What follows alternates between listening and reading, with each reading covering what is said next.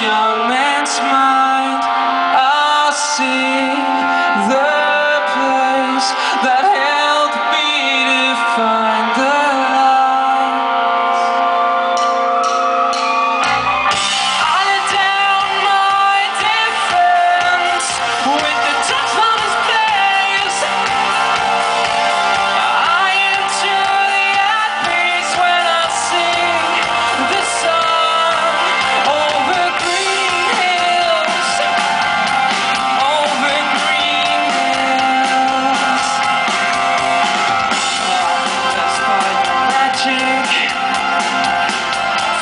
easy for you to skip it here.